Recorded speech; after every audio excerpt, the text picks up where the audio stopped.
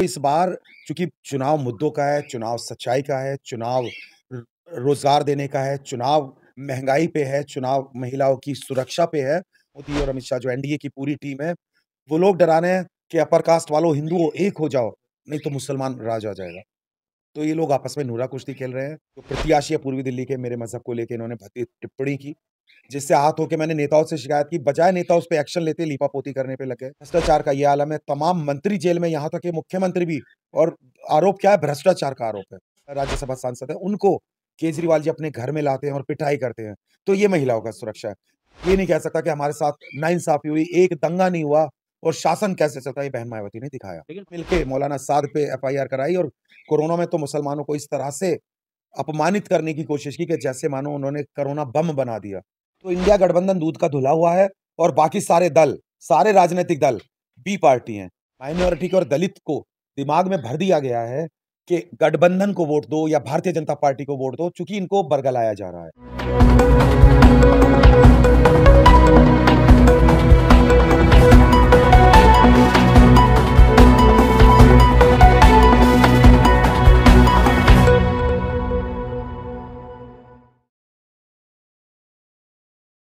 नमस्कार, मैं Montu Raja anti corruption India से स्वागत है आपका। तमाम आप लोग जानते हैं लोकसभा का चुनाव है और दिल्ली के अंदर तमाम जो दंगल है इस समय देखने को मिल रहा है। हमारे साथ मौजूद हैं इस समय बीएसपी के प्रत्याशी ईस्ट दिल्ली से पकावर चौधरी। आइए उनसे बात करते हैं, तमाम सवाल उनसे करते हैं और क्या जवाब आते हैं उनकी तरफ़ से और जनता का क्या माहौल है, जानने की कोशिश करते हैं।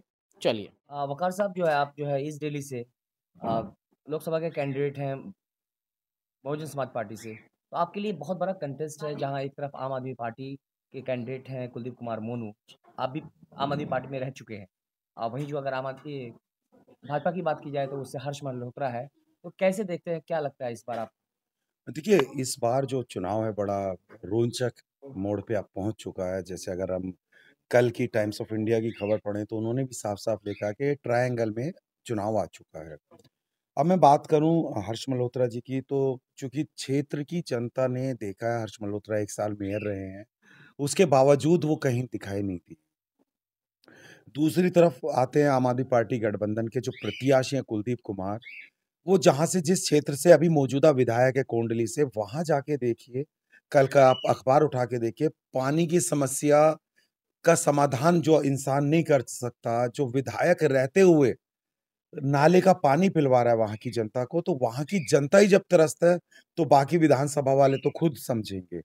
तो इस बार चूँकि चुनाव मुद्दों का है, चुनाव सच्चाई का है, चुनाव रोज़गार देने का है, चुनाव महँगाई पे है, चुनाव महिलाओं की सुरक्षा पे है तो कहीं ना कहीं बहुजन समाज पार्टी जो सभी समाज को साथ लेके चलती है, चुनाव बहुजन समाज पार्टी जीत रही है। अगर बहुजन नेतृत्व की बात की जाए तो बहन मायावती का सबसे बड़ा चेहरा है बड़ा नाम है। लेकिन इस बार जो लोक जो चुनाव लोकसभा का चुनाव हो रहा है उसमें कहा जा रहा है लोकतंत्र बचाने की लड़ाई है और इसके लिए इंडिया गठबंधन आगे देखिए ये तो दो लो, दोनों लोग इंडिया गठबंधन और भारतीय जनता पार्टी यानी एनडीए दोनों लोग एक नूरा कुश्ती खेल रहे हैं। गठबंधन वाले डरा रहे हैं खास तौर से माइनॉरिटी को और दलित को कि आप लोग हमें वोट दीजिए संविधान बचाना है वरना संविधान खत्म हो जाएगा।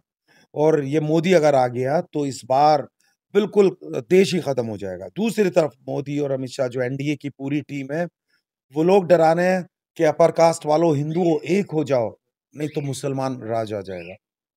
तो ये लोग आपस में नूरा कुश्ती खेल रहे हैं और वहीं बहन मायावती, जो सबको साथ लेके चल रही अकेले दम पे पूरे देश में तकरीबन हर सीट पे चुनाव लड़ रही हैं। तो इस बार देश को पता है कि शेर अकेला ही चलता है, झुंडों में नहीं चलता है तो बहन मायावती जी जो पूरे देश में अकेले चुनाव लड़ रही हैं इस बार नतीजे बहुत सार्थक आने वाले हैं और बहुजन समाज पार्टी विजय की ओर बढ़ रही है। वकार साहब आप जो है आम आदमी पार्टी में के लिए जो आपने काफ़ी संघर्ष किया आपका भी नाम है क्योंकि केजरीवाल से आप शुरुआती पीरियड से आप जुड़े हुए थे लेकिन क्या वजह थी कि आप आम आदमी पार्टी को मतलब छोड़ करके बीएसपी से आप चुनाव लड़ रहे हैं। देखिए आम आदमी पार्टी जिन मूल मुद्दों पे आई थी भ्रष्टाचार को खत्म करेंगे महिला को सुरक्षा देंगे सभी धर्मों का सम्मान करेंगे तो तीनों चीज़ पे ये कहीं ना कहीं इन्होंने मुझे आहत किया जैसे पहले इन्होंने मेरे जो प्रत्याशी है पूर्वी दिल्ली के मेरे मज़हब को लेके इन्होंने भद्दी टिप्पणी की जिससे आहत होके मैंने नेताओं से शिकायत की, बजाय नेता उस पे एक्शन लेते, लीपापोती करने पे लग गए। दूसरा ये लोग भ्रष्टाचार जब मैं जुड़ा था तो मुझे भी यकीन था कि देश से भ्रष्टाचार खत्म हो जाएगा। लेकिन भ्रष्टाचार का ये आलम है, तमाम मंत्री जेल में, यहाँ तक कि मुख्यमंत्री भी और आरोप क्या है? भ्रष्टाचार का आरोप है। भ्रष्टाचार के आरोप में पूरी पार्टी जिस मेन मुद्दों को लेके आई थी, उसमें ये लोग सारे जेल में। तीसरा था महिला सशक्तिकरण, महिला सुरक्षा का, तो आज सबने देखा कि किस तरीके से स्वाति मालीवाल जी, जो देश की राज्यसभा सांसद हैं, गठबंधन की राज्यसभा सांसद हैं, उनको केजरीवाल जी अपने घर में लाते हैं और पिटाई करते हैं। तो ये महिलाओं का सुरक्षा है। तो कहीं ना कहीं मैं इन सारी चीज़ों से आहत हुआ और मैंने फैसला किया कि नहीं मुझे जाना चाहिए और इधर बहन मायावती का देखा मैंने, बहुजन समाज पार्टी का जो तमाम समाज को लेके साथ चलती है, महिला सुरक्षा की वो बात ही नहीं करकी करके दिखाती है। चार बार का अगर हम उत्तर प्रदेश का शासन देखें बहुजन समाज पार्टी का तो तमाम लोगों को सुरक्षा मिली। कोई एक आदमी ये नहीं कह सकता कि हमारे साथ नाइंसाफ़ी हुई, एक दंगा नहीं हुआ और शासन कैसे चलता है, ये बहन मायावती ने दिखाया। लेकिन भाजपा पे जो इस तरह से आरोप लग आया है कि वो दंगा कराती है।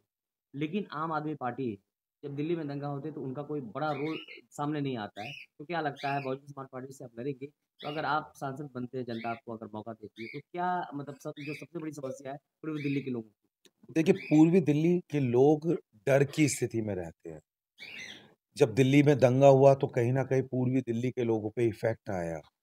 पूर्वी दिल्ली में भी माहौल ख़राब करने की कोशिश की गई, ख़ास तौर से मेरे इलाके में तो बहुत माहौल ख़राब करने की कोशिश की गई। भारतीय जनता पार्टी के विधायक तक यहाँ पे उल्टे-सीधे नारे लगवा रहे थे, लेकिन हम लोगों ने संयम से लोगों को समझाया, तमाम मजाहब के लोगों को बिठाया, उनसे बात की और कहीं ना कहीं उन्हें भरोसा दिलाया। लेकिन भारतीय जनता पार्टी और आम आदमी पार्टी दोनों चाहती हैं दंगा हो। दोनों ने ही मरकज़ पे ताला लगवाया, दोनों ही पार्टियों ने मिलके मौलाना साद पे एफआईआर कराई और कोरोना में तो मुसलमानों को इस तरह से अपमानित करने की कोशिश की कि जैसे मानो उन्होंने कोरोना बम बना दिया। तो सबने देखा, जनता सब जानती है, जनता ऐसा नहीं है कि भूल चुकी है, सारी चीज़ जनता के सामने।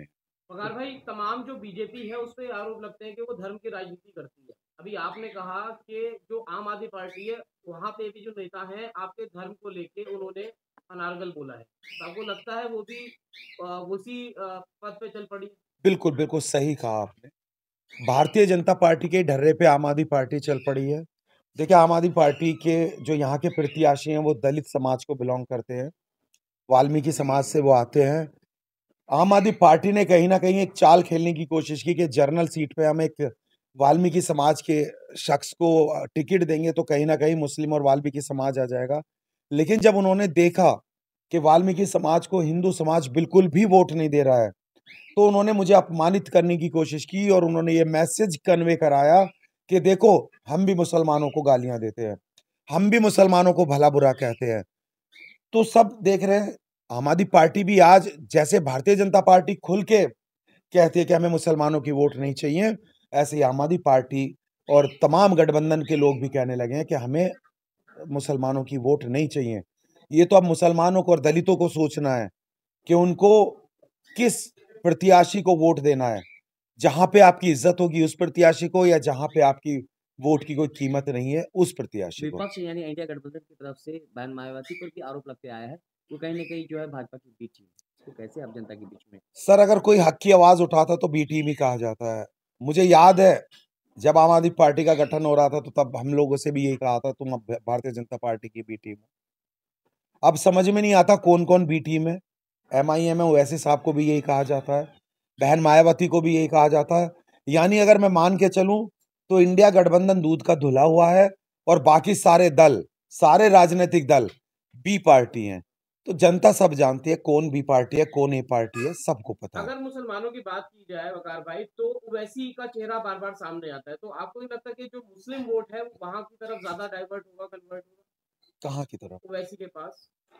नहीं, देखिए ओवैसी साहब ने की अगर मैं बात करूँ तो उन्होंने हमेशा तमाम समाज के लोगों की बात उठाई है, दलितों की आवाज़ उठाई है, मुसलमानों की आवाज़ उठाई है, प्रखर रूप से बोले हैं वो।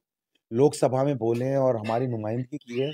लेकिन कहीं ना कहीं माइनॉरिटी के और दलित को दिमाग में भर दिया गया है कि गठबंधन को वोट दो या भारतीय जनता पार्टी को वोट दो, चूँकि इनको बरगलाया जा रहा है। आज स्थिति ये हो गई है कि डर के माहौल से लोगों को डरा के वोट लिया जा रहा है। कोई भी पार्टी हो, गठबंधन हो या भारतीय जनता पार्टी हो, विकास के या आने वाली दूरदर्शिता के, हम क्या भावी योजनाएँ लाएँगे उस पर बात नहीं हो रही है। तमाम पार्टियाँ सिर्फ़ और सिर्फ़ धर्म के नाम पर राजनीति कर रही हैं। वहीं बहन मायावती का क्लियर विजन है। क्योंकि हमारी पार्टी का मानना है कि हम लोग मैनिफेस्टो नहीं छपवाते हम लोग करके दिखाने में विश्वास रखते हैं। तो क्या लगता है आपका जो है जो तीन गुनिया लड़ाई है उसमें किस किससे टक्कर होगा? देखिए बहुजन समाज पार्टी पहले नंबर पे है दूसरे नंबर की लड़ाई है ये भारतीय जनता पार्टी और आम आदमी पार्टी या गठबंधन को तय करना है कि दूसरा और तीसरा नंबर किसका आने वाला है। तो जैसे कि आपने सुना, वकार चौधरी को उन्होंने तमाम सवालों के जवाब दिए हैं। इस पूरी चर्चा पे क्या सोचते हैं, क्या राय रखते हैं, कमेंट द्वारा साझा करें। अगली अपडेट के साथ आपके समक्ष फिर प्रस्तुत होंगे। नमस्कार।